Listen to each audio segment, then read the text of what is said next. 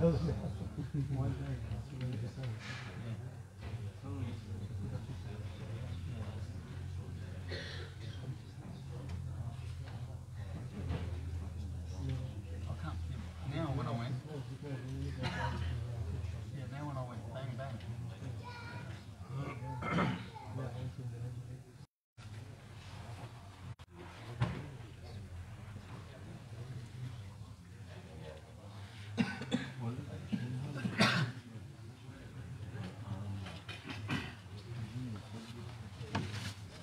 السلام عليكم ورحمة الله وبركاته.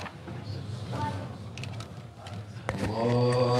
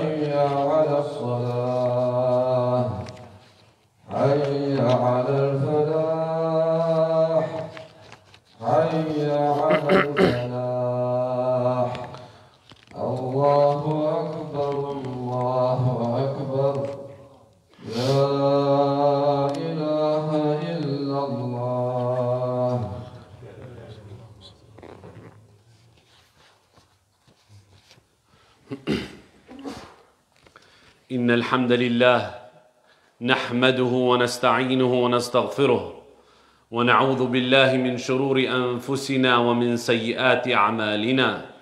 من يهده الله فلا مضل له ومن يضلل فلا هادي له. وأشهد أن لا إله إلا الله وحده لا شريك له وأشهد أن محمدا عبده ورسوله. إن أصدق الكلام كلام الله. وخير الهدي هدي محمد صلى الله عليه وسلم. وشر الأمور محدثاتها وكل محدثة بدعة وكل بدعة ضلالة وكل ضلالة في النار. أما بعد عباد الله فإن من صفات الكمال والجلال والجمال التي وصف الله بها نفسه ووصفه بها نبيه صلى الله عليه وسلم صفة الكلام. صفة الكلام على الوجه الذي يليق بجلاله وكماله. وسأذكر من كلام الله تبارك وتعالى لأهل الجنة. أو لبعضهم لنتذكر ولنستحضر شيئا من ذلك النعيم. فمن تكريم الله لأهل الجنة ما ثبت في الصحيحين. عن أبي سعيد الخضري رضي الله عنه قال النبي صلى الله عليه وسلم إن الله يقول لأهل الجنة يا أهل الجنة فيقولون لبيك وسعديك والخير في يديك فيقول هل رضيتم فيقولون وما لنا لا نرضى يا رب وقد أعطيت أعطيتنا ما لم تعط أحدا من خلقك. فيقول ألا أعطيكم أفضل من ذلك؟ فيقولون يا رب وأي شيء أفضل من ذلك؟ فيقول تبارك وتعالى أحل عليكم رضواني فلا أسخط عليكم بعده أبدا All praise is due to Allah.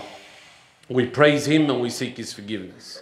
And we ask Allah Tabaraka wa Ta'ala to shower His peace and blessings upon a Messenger Muhammad sallallahu alayhi wasallam and upon his family and companions and all those who hold firm upon the sunnah until Yawm al-Qiyamah. All those whom Allah guides, none can misguide. And all those whom Allah misguides, none can guide. And I bear witness that there is none worthy of worship in truth but Allah. And I bear witness that Muhammad is the slave and messenger of Allah. From the most evil of affairs are the innovations, and every innovation is a misguidance, and every misguidance is in the hellfire. Servants of Allah. From the attributes of beauty, magnitude, and perfection that Allah ta'ala attributed to Himself and the Messenger sallallahu alayhi wasallam attributed to Him is that of speech in a manner in which befits His Majesty tabaraka wa ta'ala.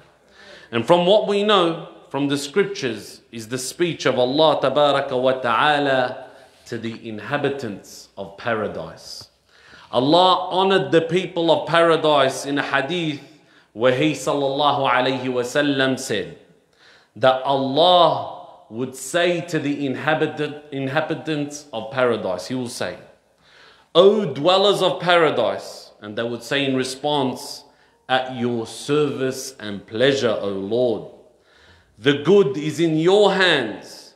He, Allah, would say, Are you well pleased now? They would say, Why should we not be pleased, O Lord, when you have given us what you, you have not given any of your creatures? He would say, May I not give you something even more excellent? And they would say, O Lord, what thing can be more excellent than this, than the very paradise that they're in? And he would say, I shall cause my pleasure to alight upon you, and I shall never be afterwards annoyed with you.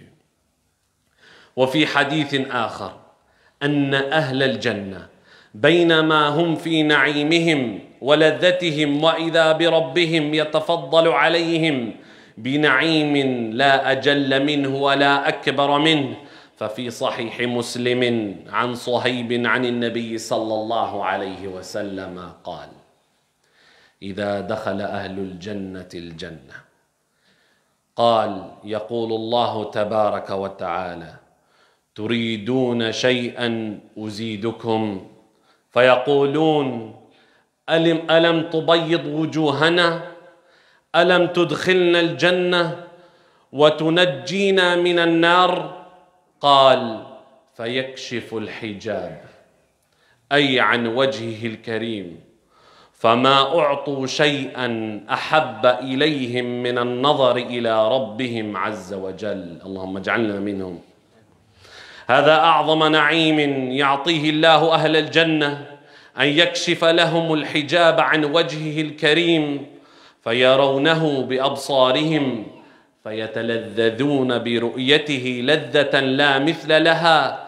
هذا ربهم الذي آمنوا به ولم يروه وعبدوه ولم يروه. وأحبوه ولم يروه وخافوا منه ولم يروه. وذلك معنى قوله تبارك وتعالى وجوه يومئذ ناظرة إلى ربها ناظرة ومعنى قوله على الأرائك ينظرون ومعنى الزيادة في قوله للذين أحسنوا الحسنى وزيادة عباد الله in another narration Allah wa ta'ala he bestows his blessings upon the people of paradise mentioned in a hadith whereby the messenger sallallahu alaihi wasallam he said when the people of paradise they enter paradise may, may allah allah may he be blessed and exalted will say do you want anything more they will say have you not made our faces bright have you not admitted us into paradise and saved us from the hellfire then the veil will be removed from the face of Allah wa ta'ala. And they will not be given anything more beloved to them than looking at their Lord. May He be glorified and exalted. May Allah make us of them. This is the greatest reward Allah subhanahu wa ta'ala gives the people of Jannah. That He removed the veil of light from His face. They will then see Him with their own eyes. They will be honored by this in a manner they had never experienced, nor any other creature before them. This is their Lord that they believed in without seeing Him. They worshipped him, yet they had never seen him. They loved him, and they had never seen him. And they feared him, and they never seen him. And this is the meaning of Allah wa ta'ala's words when He says, Some faces that, that day shall be nadira, shining and radiant, looking upon their Lord on thrones, looking. For those who have done good is the best reward and even more, and even more in this meaning is having the honor of glancing at the countenance of Allah. ومن حديث الله لأهل الجنة وكلامه معهم ما ثبت في الصحيحين عن أبي سعيد الخضري رضي الله عنه أن النبي صلى الله عليه وسلم قال إذا دخل أهل الجنة الجنة وأهل النار النار يقول الله من كان في قلبه مثقال حبة من خردل من إيمان فأخرجوه فيخرجون قد امتحشوا وعادوا حمما فيلقون في نهر الحياة فينبتون كما تنبت الحبة في حميل السيل أو قال في حمية السيل.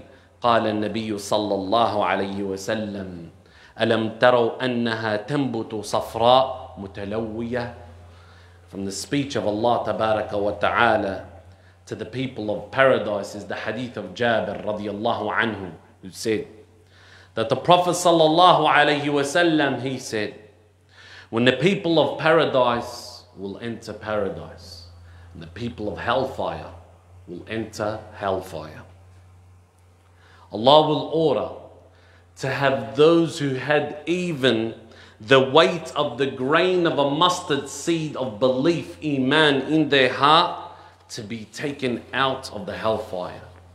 So they will be taken out.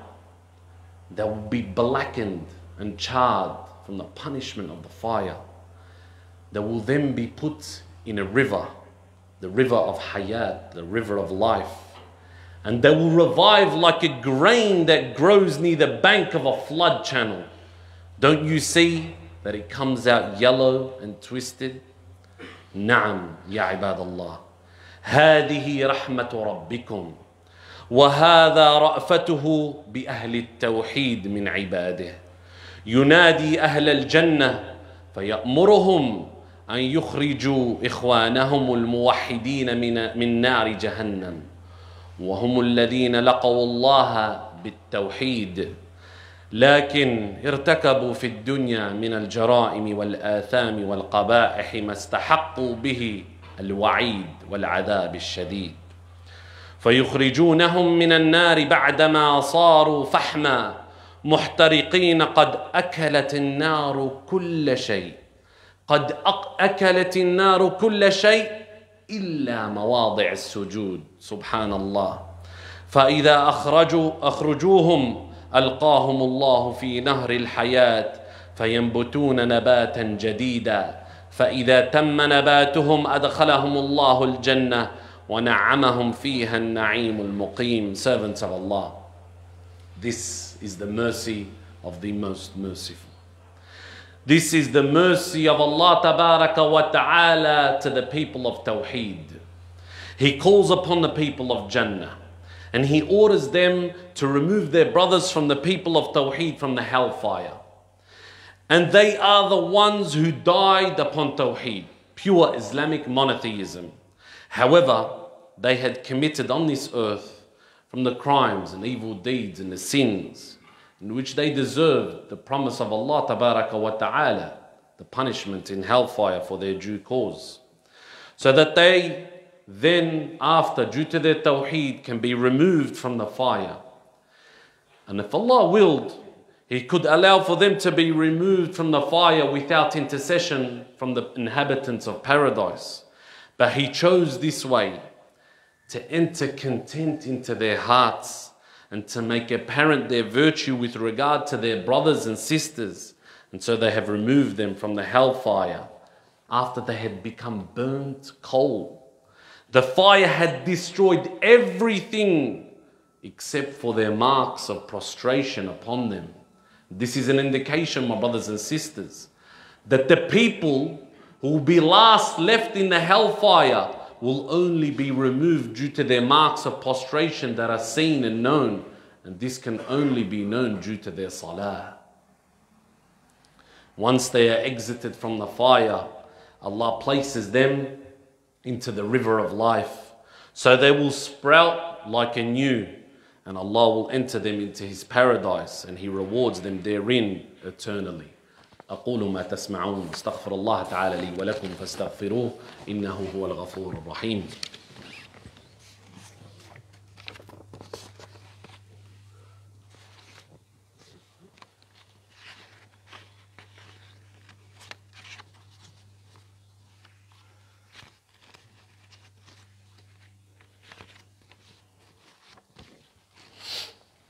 الحمد لله والصلاة والسلام على رسول الله وعلى آله وصحبه ومن والاه.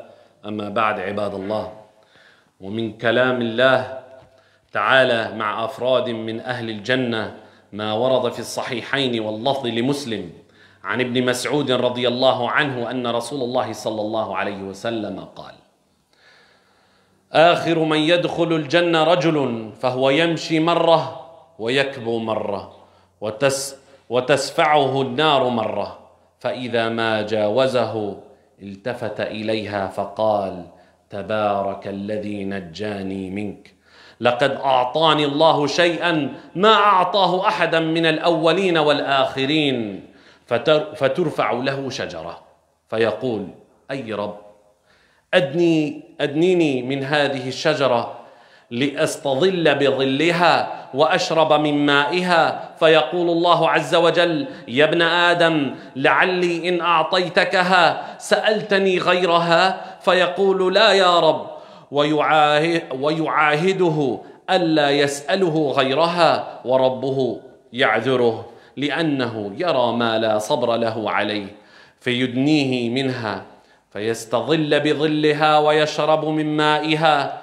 ثم ترفع له شجرة هي أحسن من الأولى. فيقول أي رب أدنني من هذه لأشرب منها من مائها وأستظل بظلها لا أسألك غيرها. فيقول يا ابن آدم ألم تعاهدني ألا تسألني غيرها؟ فيقول لعلي إن أدنيتك منها تسألني غيرها. فيعاهده ألا يسأل غير يسأله غيرها. وربه يعذره لأنه يرى ما لا صبر له عليه فيدنيه منها فيستظل بظلها ويشرب من مائها ثم ترفع له شجرة عند باب الجنة. هي أحسن من الأوليين. فيقول أي ربي أدنني من هذه لأستظل بظلها وأشرب من مائها لا أسألك غيرها. فيقول يا ابن آدم ألم تعاهدني ألا تسألني غيرها؟ قال بلى يا رب هذه لا أسألك غيرها. وربه يعذره لأنه يرى ما لا صبر له عليه فيدنيه منها فإذا أدناه منها. فيسمع أصوات أهل الجنة. فيسمع أصوات أهل الجنة فيقول أي ربي أدني أدخلنيها. فيقول يا ابن آدم ما يسريني منك أي ما الذي يقطع ويمنع سؤالك؟ أيرضيك أن أعطيك الدنيا ومثلها معها؟ قال يا رب أتستهزئ مني وأنت رب العالمين؟ فضحك ابن مسعود فقال ألا تسألوني مما أضحك؟ فقالوا مما تضحك؟ قال هكذا ضحك رسول الله صلى الله عليه وسلم فقال مما تضحك يا رسول الله؟ فقالوا مما تضحك يا رسول الله؟ قال من ضحك رب العالمين حين قال أتستهزئ مني وأنت رب العالمين؟ فيقول إني لا أستهزئ منك ولكني على ما أشاء قادر فهذا آخر أهل الجنة دخولا لها يدخلها بعد إن يستقر أهل الجنة فيها ومع ذلك يعطيه يعطيه الله مثل الدنيا وفي رواية مثل الدنيا عشر مرات.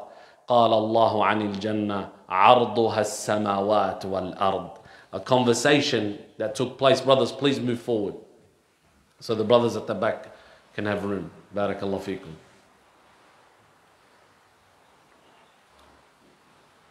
a conversation that takes place between Allah tabaraka wa ta'ala and a particular individual from the people of Jannah is the hadith of Ibn Mas'ud, which the Messenger sallallahu alayhi wasallam he said, the last one to enter paradise will be a man who will walk once and he will stumble once and he will be burnt by the fire once. When he gets past it, he will turn to it and say, Blessed be the one who saved me from you. Allah has given me something that He has not given, not from the first or the last of people. A tree will be raised for him, and he will say, O Lord, bring me closer to this tree, so that I might shelter in its shade and drink from its water. Allah, may He be glorified and exalted, will say, O son of Adam, perhaps if I give you that, you will ask me for something else. He will say, No, O Lord. And he will promise that he will not ask him for anything else, and his Lord will excuse him because he has seen something that he cannot help wanting. So he'll be brought near to it. And he will shelter in its shade and drink from its water. Then another tree will be raised up for him that is more beautiful than the first. And he will say, O Lord, bring me closer to this tree so I may drink from its water and shelter in its shade. And I will not ask for anything else. He will say, O son of Adam, did you not promise me that you will not ask me for anything else? He will say, Perhaps if I bring you near to it, you will ask me for something else. He will promise that he will not ask him for anything else, and he, his Lord will excuse him because he has seen something that he cannot help wanting. So he will be brought near to it, and it will, he will shelter in its shade, and he will drink from its water. Then another tree will be raised up for him upon the gate of paradise that is more beautiful than the first two. And he will say, O Lord, bring me closer to this tree so that I might shelter in its shade and drink of its water, and I will not ask you for anything else. He will say, O son of Adam, did you not promise me that you will not ask me for anything else? He will say, No, O my Lord, I will not ask you for anything else his Lord will excuse him because he has seen something that he cannot help wanting. He will be brought close to it. And when he draws close to it, he will hear the voices of the people of paradise. And he will say, O Lord, admit me into paradise. He will say, O son of Adam, what will make you stop asking? Will it please you if I were to give you this dunya, this world, and like the like of it, he will say, O Lord, are you making fun of me when you are the Lord of the worlds? Ibn Mas'ud, he then smiled and said, Why do you not ask me why I am smiling? They said, Why are you smiling? He said, This is how the Messenger of Allah sallallahu alayhi was smiled, sallallahu alayhi wasallam smiled. And they, the Sahaba, asked him, why are you smiling, O Messenger of Allah? He said, Because the Lord of the worlds will smile when He says, Are you making fun of me when you are Lord of the worlds? And will say, I am not making fun of you, but I am able to do whatever I will. My brothers, in another narration, Allah subhanahu wa ta'ala gives this person the world and ten times the amount of this world And this will be the last of the people that will enter Jannah. How about of those of his predecessors, those who, for, uh, who passed him in paradise? ومن تكليم الله لبعض أهل الجنة ما ثبت عن أنس بن مالك رضي الله عنه Brothers, move forward here. There's plenty of room here, inshallah. ومن تكليم الله لبعض أهل الجنة ما ثبت عن أنس بن مالك رضي الله عنه أن رسول الله صلى الله عليه وسلم قال يؤتى بأنعم أهل الدنيا من أهل النار يوم القيامة. فيصبغ في النار صبغة. ثم يقال يا ابن آدم هل رأيت خيرا قط؟ هل مر بك نعيم قط؟ فيقول لا والله يا رب ويؤتى بأشد الناس بؤسا في الدنيا من أهل الجنة. فيصبغ صبغة في الجنة في فيقال له يا ابن آدم هل رأيت بؤسا قط؟ هل مر بك شدة قط؟ فيقول لا والله يا رب ما مر بي بؤس قط ولا رأيت شدة قط. فأي نعيم هذا؟ في الجنة الذي ينسى به صاحبه كل بلاء وكربة وكل مرض وخوف كان تجرع مرارته في الدنيا اياما طويلة. بصبغة واحدة وغمسة واحدة في الجنة. سبحان الله فيا عباد الله تزودوا لآخرتكم بالإيمان الصادق والعمل الصالح وتمسكوا بالسنة ومجانبة الفتن والبدعة وجددوا التوبة والندامة والإستغفار.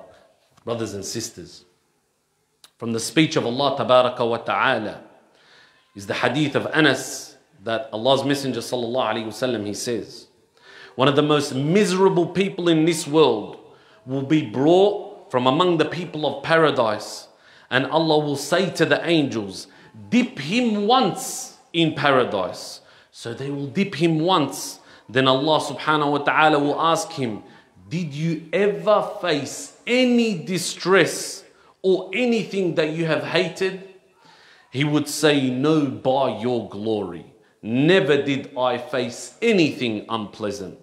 Then one of the most affluent people of this world will be brought from the people of hellfire. Allah will command the angels and say, dip him once into hellfire. Then he will ask him, O son of Adam, did you ever enjoy any comfort? And that is just a dip in hell. And he will say, I did not enjoy any comfort whatsoever. Subhanallah.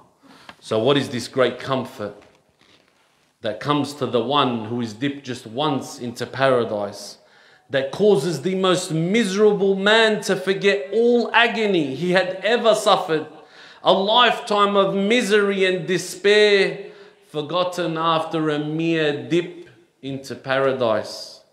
Servants of Allah, my dear beloved brothers and sisters, strive hard for your hereafter with the true, sincere belief and righteous action by adhering to the sunnah of the Messenger sallallahu alaihi wasallam upon the methodology of his pious predecessors, steering away from fitna and innovations, and often seek repentance from Allah, seeking His forgiveness always.